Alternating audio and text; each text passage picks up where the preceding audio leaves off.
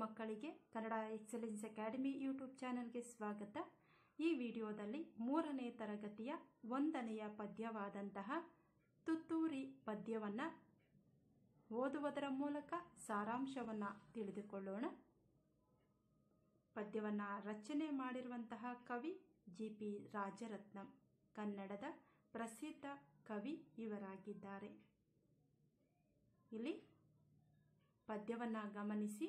ಪದ್ಯದ ಮೊದಲನೆಯ ಪ್ಯಾರವನ್ನು ಬಣ್ಣದ ತಗಡಿನ ತುತ್ತೂರಿ, ಕಾಸಿಗೆ ಕೊಂಡನು ಕಸ್ತೂರಿ. ಸರಿಗಮ ಪದನಿಸ ಊದಿದನು ಸನಿದ ಪಮಗರಿಸ ಊದಿದನು. ಮತ್ತೊಮ್ಮೆ ಗಮನಿಸಿ, ಬಣ್ಣದ ತಗಡಿನ ತುತ್ತೂರಿ, ಕಾಸಿಗೆ ಕೊಂಡನು ಕಸ್ತೂರಿ. ಸರಿಗಮ ಪದನಿಸ ಊದಿದನು ಸನಿದ ಪಮಗರಿಸ ಓದಿದನು ಸಾಲುಗಳ ಅರ್ಥ ಎಂದರೆ, ಕಸ್ತೂರಿ ಎನ್ನುವಂತಹ ಒಬ್ಬ ಪುಟಾಣಿ ಹುಡುಗ ಬಣ್ಣದ ತುತ್ತೂರಿಯನ್ನು ತಗೊಳ್ತಾನೆ. ತಗಡಿನ ಅಂದರೆ ಮರದಿಂದ ಮಾಡಿದಂತಹ ಒಂದು ತೆಳುವಾದ ಲೋಹ. ತೆಳುವಾದ ಲೋಹದಿಂದ ಮಾಡಿರುವಂತಹ ಒಂದು ತುತ್ತೂರಿಯನ್ನು ತೆಗೆದುಕೊಳ್ತಾನೆ ಯಾರು? ಕಸ್ತೂರಿ. ಅದನ್ನು ಊದಲು ಪ್ರಯತ್ನ ಮಾಡ್ತಾನೆ. ಏನಂತ? ಊದುವ ಒಂದು ವಾದ್ಯವಾದಂತಹ ತುತ್ತೂರಿ. ತುತ್ತೂರಿ ಅಂದರೆ ಊದುವ ಒಂದು ವಾದ್ಯ. ಅವನು ಸಂಗೀತದ ಏಳು ಸ್ವರಗಳಾದಂತಹ ಸರಿಗಮ ಪದ ನಿಸ ಎನ್ನುತಕ್ಕಂತಹ ಪದ ಸಂಗೀತದ ಏಳು ಸ್ವರಗಳನ್ನು ಹಾಡಲು ಪ್ರಯತ್ನ ಮಾಡ್ತಾನೆ. ಮೊದಲನೇ ಸಾಲುಗಳ ಅರ್ಥ ಎಂದರೆ ಕಸ್ತೂರಿ ಎನ್ನುವಂತಹ ಹುಡುಗ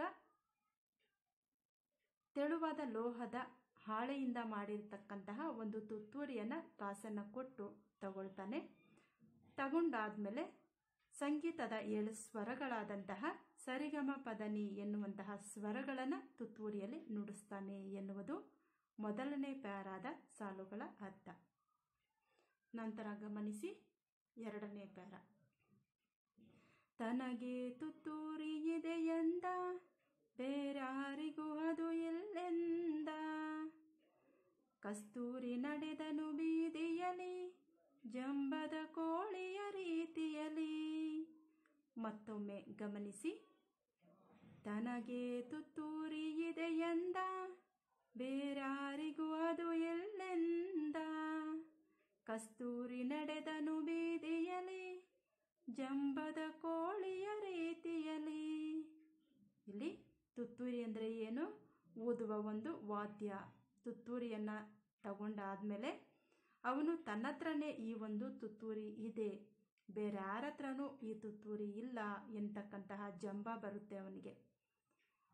ಕಸ್ತೂರಿ ಏನು ಮಾಡ್ತಾನೆ? ಆ ಒಂದು ತುತ್ತೂರಿಯನ್ನು ತನ್ನ ಕೈಯಲ್ಲಿ ಹಿಡಿದು ರಸ್ತೆಯಲ್ಲಿ ನಡೀತಾ ಇದ್ದಾನೆ. ಯಾವ ರೀತಿ ಅಂದರೆ ಜಂಬದ ಕೋಳಿಯ ಹಾಗೆ ನಡೀತಾ ಇದ್ದಾನೆ ಯಾರು? ಕಸ್ತೂರಿ ಬೀದಿಯಲ್ಲಿ. ಮುಂದುವರಿಯುತ್ತಾ ಸಾಲುಗಳನ್ನು ಗಮನಿಸಿ. ತುತ್ತೂರಿಯೂದುತ ಕೊಳದ ಬಳಿ ನಡೆದನು ಕಸ್ತೂರಿ ಸಂಜೆಯಲಿ ಜಾರಿತು ನೀರಿಗೆ ತುತ್ತೂರಿ, ಗಂಟಲು ಕಟ್ಟಿತು ನೀರೂರಿ. ಮತ್ತೊಮ್ಮೆ.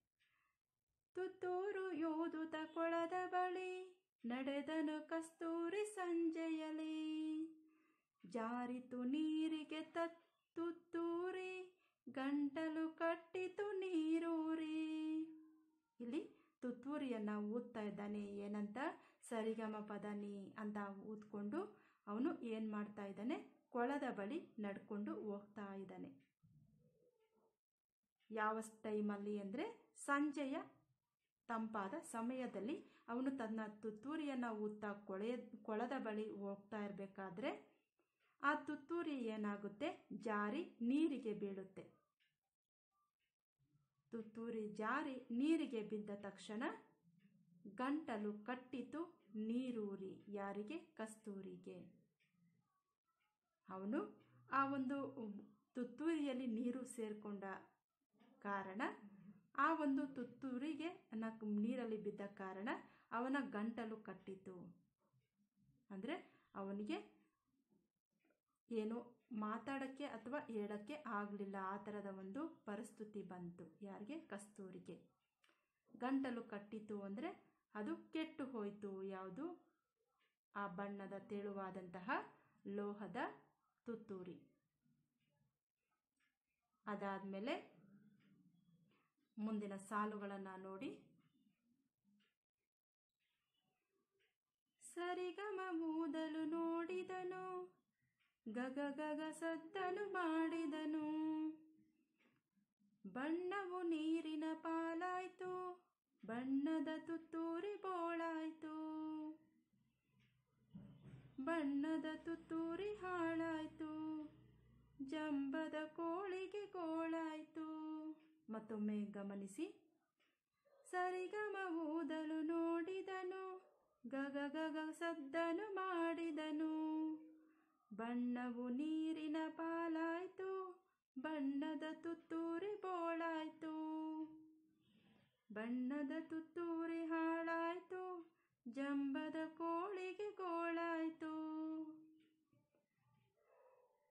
ಬಣ್ಣದ ತಗುಡಿನ ತುತ್ತೂರಿ ಕಾಸಿಗೆ ಕೊಂಡನು ಕಸ್ತೂರಿ. ಸರಿಗಮ ಪದನಿಸ ಓದಿದನು ಸನಿದ ಪಮಗರಿಸ ಓದಿದನು.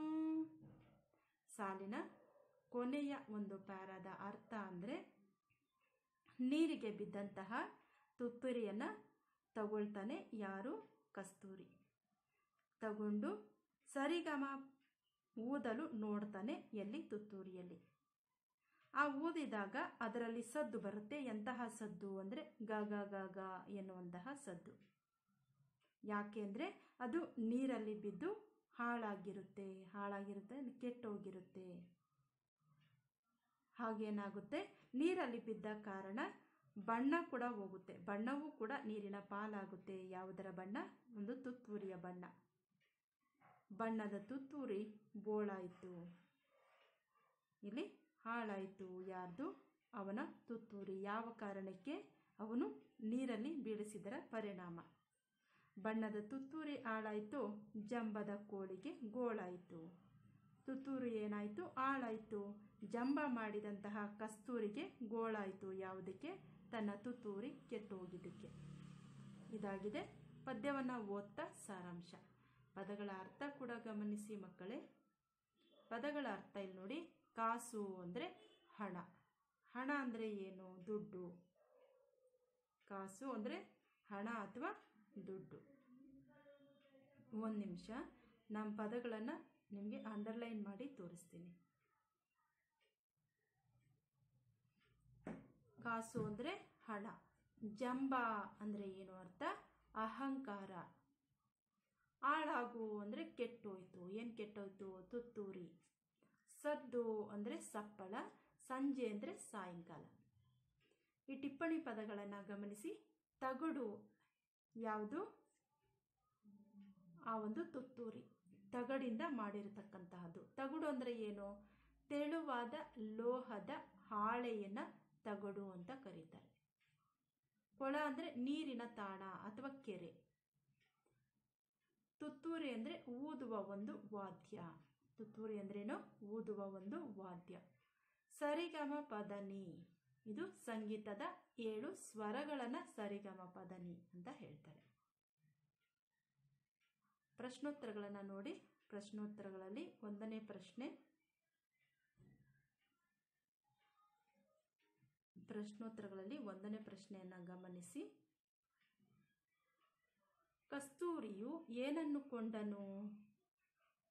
ಇಲ್ಲಿ ಏನನ್ನು ಅನ್ನೋ ಪ್ಲೇಸಲ್ಲಿ ಕಸ್ತೂರಿಯು ತುತ್ತೂರಿಯನ್ನು ಕೊಂಡನು.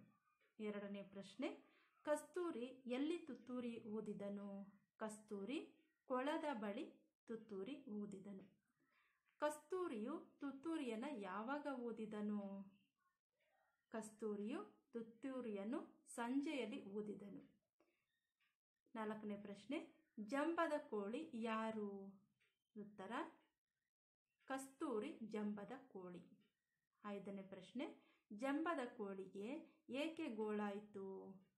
ಉತ್ತರ, ತುತ್ತೂರಿ ಜಾರಿ ಕೊಳದಲ್ಲಿ ಬಿದ್ದಾಗ ಜಂಬದ ಕೋಳಿಗೆ ಗೋಳಾಯಿತು. ಆರನೇ ಪ್ರಶ್ನೆ, ತುತ್ತೂರಿ ಏನಾಯಿತು? ತುತ್ತೂರಿ ಹಾಳಾಯಿತು. ಇದು ಪ್ರಶ್ನೆಯ ಒಂದು ಉತ್ತರಗಳು. ನೋಡಿ ಇಲ್ಲಿ ಈ ವಾಕ್ಯಗಳಲ್ಲಿ ಬಿಟ್ಟಿರುವ ಸ್ಥಳವನ್ನು ಸೂಕ್ತ ಪದದಿಂದ ತುಂಬಿ ಅನ್ನೋ ಪ್ರಶ್ನೆಯನ್ನು ಕೇಳಿದ್ದಾರೆ ಒಂದನೇ ಪ್ರಶ್ನೆ, ಬಣ್ಣದ ತಗಡಿನ ತುತ್ತೂರಿ. ಕಸ್ತೂರಿ ನಡೆದನು ಬೀದಿಯಲ್ಲಿ. ಜಾರಿ, ಜಾರಿತು ನೀರಿಗೆ ತುತ್ತೂರಿ. ಬಣ್ಣದ ತುತ್ತೂರಿ ಹಾಳಾಯಿತು. ಇವು ಪ್ರಾಸಪದಗಳು. ಬಣ್ಣದ ತಗಡಿನ ತುತ್ತೂರಿ ಪದ್ಯದ ಮುಂದುವರೆದ ಸಾಲುಗಳು ಅಂತಲೂ ಹೇಳ್ಬೋದು. ಇದಾಗಿದೆ. ಮೂರನೆಯ ತರಗತಿಯ ಪದ್ಯ ತುತ್ತೂರಿ.